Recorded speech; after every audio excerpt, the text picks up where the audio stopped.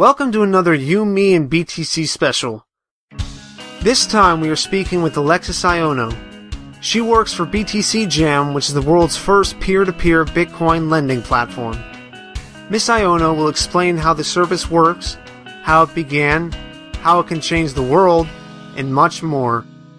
Stay tuned for this amazing discussion.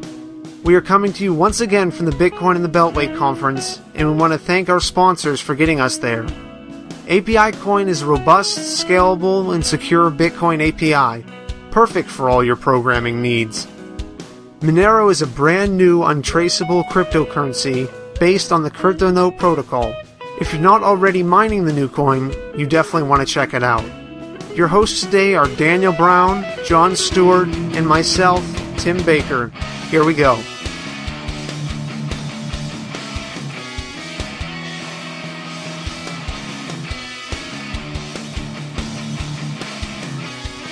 So, hey everybody, back again from the Bitcoin Beltway Conference. We are sitting down right now with Alexis Aiono. She is uh, with BTC Jam and seems pretty cool. She's going to tell us about that. So, yeah, tell us, first of all, I guess we just want to know what is BTC Jam?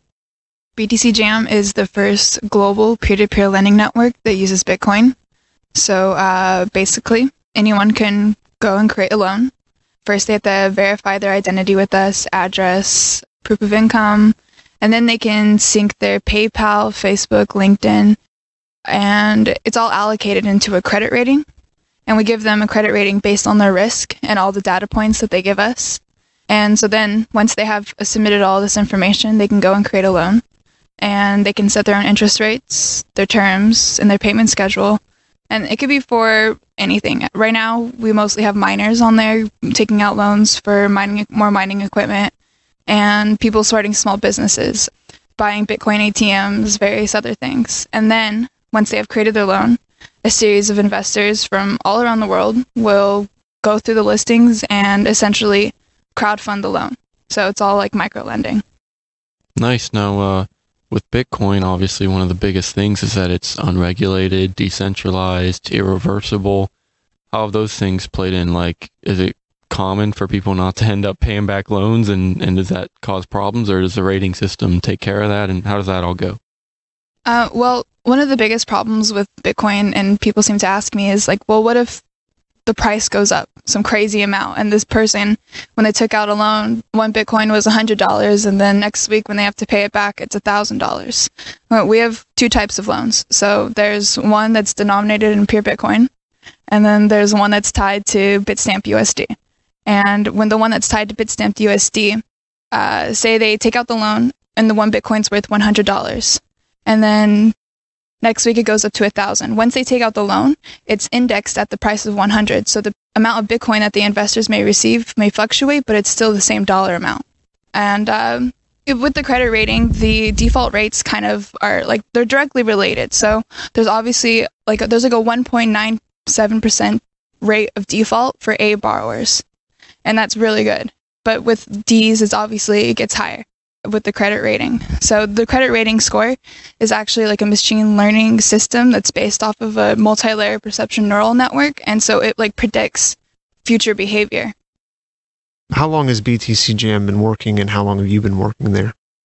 Well, it's been a concept for 2 years and it's been we've been incorporated for 1 year. And I've been working since February 2014 our founders are from Brazil. Well, we have one founder. He's Celso Pitta. He's from Brazil.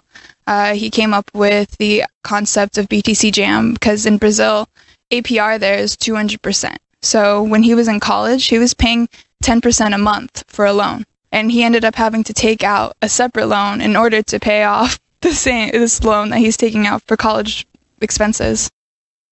Can you tell us? I mean, you said there was like micro lending, and so can you tell us like what people have to do to get involved? Can you can anybody just do it with a little bit and how does that work?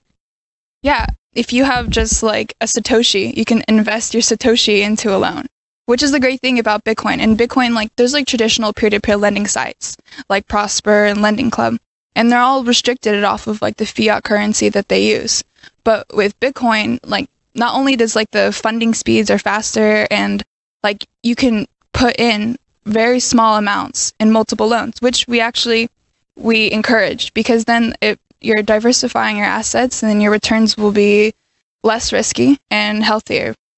Yeah, it sounds like you guys are are fully functional right now. Can you tell us maybe where you need to go next? Uh, what kind of hurdles you're having to overcome next? Yeah, just future steps.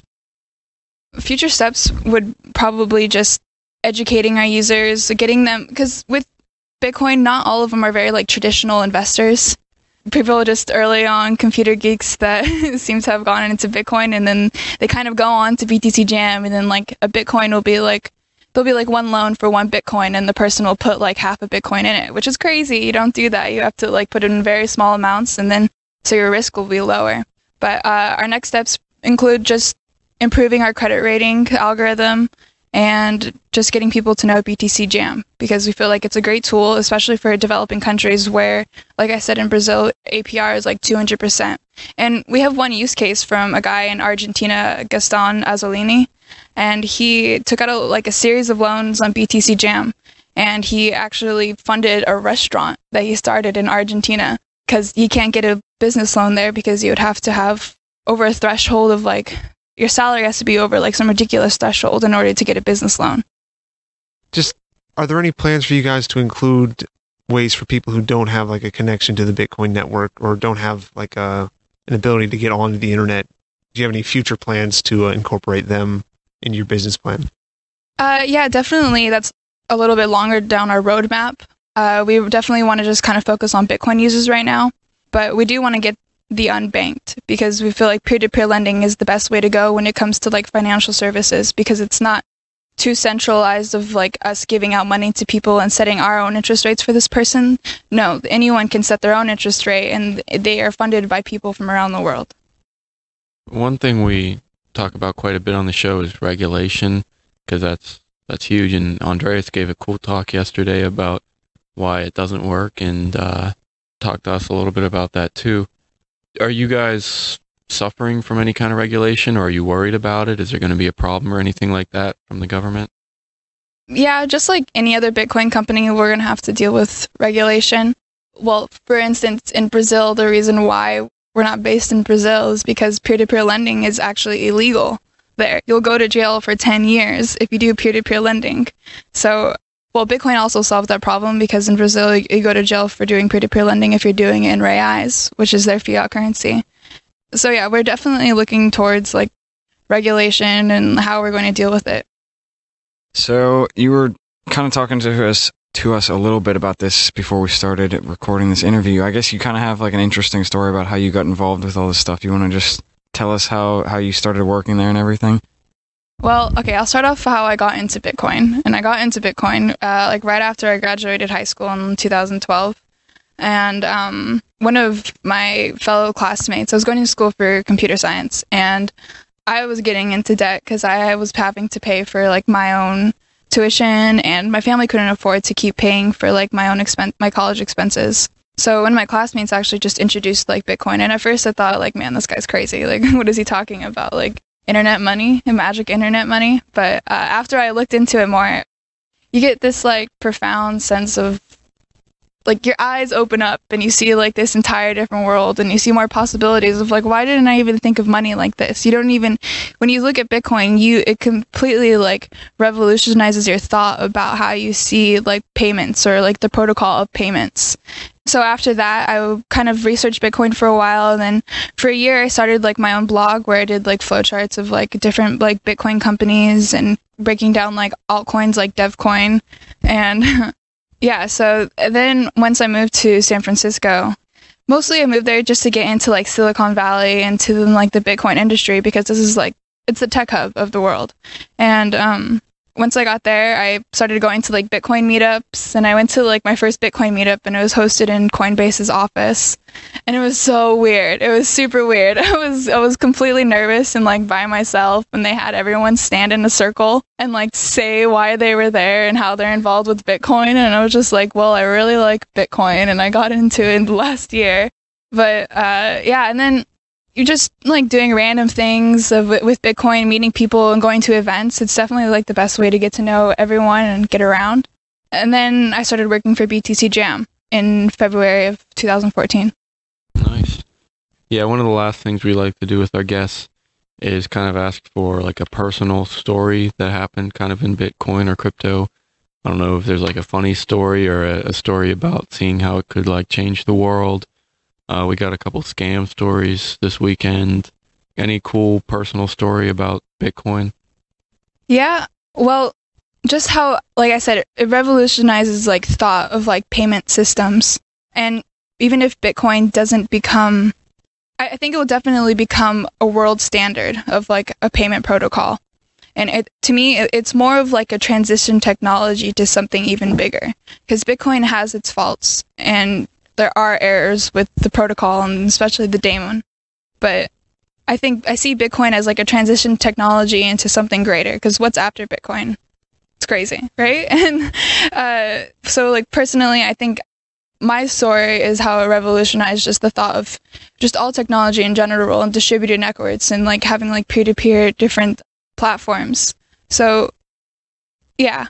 I mean, in, within BTC Jam, like there are scammers. There are people that will try to scam you, and like our credit rating tries to like warn you ahead of time of like the scamming part and all of these other things. But yeah. Yeah, is there anything you'd want to plug? Any Twitter handles or? Yeah, okay, btcjam.com, and then you can find me at Alexis Aiono on Twitter. A I O N O is my last name. And yeah.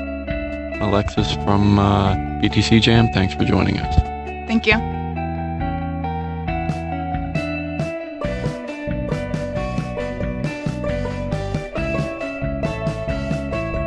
Thanks again for tuning in to the You, Me, and BTC podcast. Remember that 75% of the tips we receive for this and all our other Bitcoin in the Beltway interviews will be sent directly to Sean's Outpost. As usual, all the music in the show was written and recorded by our own John Stuart. We'll see you next time.